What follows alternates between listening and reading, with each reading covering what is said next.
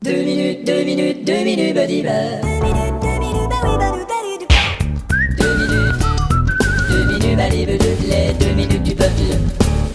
Les imperfections surprises, voilà qui rend votre soirée plus grise.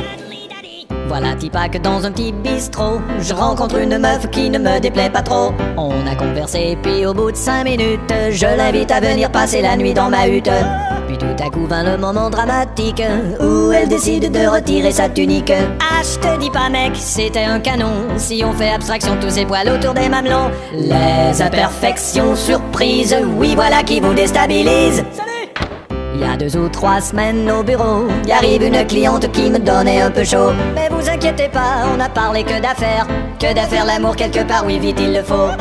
Alors elle retire son manteau Et puis sa jupe, je ne sais plus si j'ose Car je remarque un postérieur À peu près de la largeur de celui de Carlos Les imperfections surprises Définitivement voilà qui nous paralyse Moi je me baladais rue Saint-Denis Et voilà une jolie fille qui voulait ses seins me donner D'accord m'a fait monter dans une petite chambre.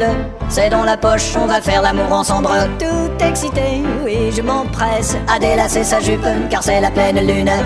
Décidément, je n'ai pas de veine Mais la grosse bite que j'ai découvert en avait toute une. Les imperfections surprises vous encouragent à faire partie de l'église. Les imperfections surprises pourraient vous faire faire cardiaque une crise. C'est fini. Chez toi. Ah, t'attendais un teaser qui est gentil, mais on n'a pas le budget. Et puis quoi encore?